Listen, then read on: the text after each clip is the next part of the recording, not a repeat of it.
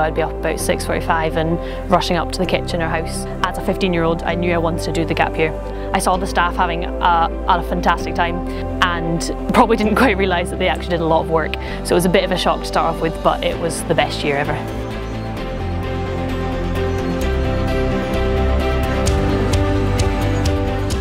I think I spend more time with people here than I've spent with people at home for 18 years, for example, because you actually you live together with them and you, you work with them, and it's just really good fun.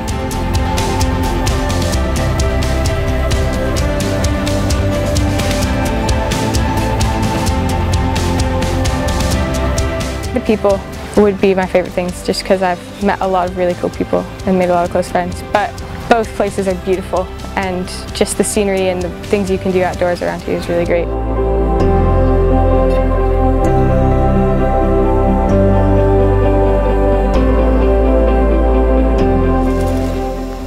Faith has got really strong from being at Barcaple. Now I really think I know what I'm going to do and I think it's because I've had time to think and time to like be away from everything back home. It gives you like good space to sort of get away.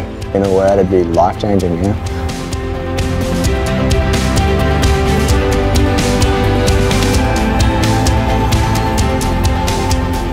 Think from my gap year what I really gained was um, just an experience of living in a Christian environment um, that I'd never had before. It was a really good chance to I think learn and grow a bit more about what it meant to have a faith and what it meant to put that into practical living. Abernethy's got a definite sense of feeling like home and I think a lot of the staff and guests would say that.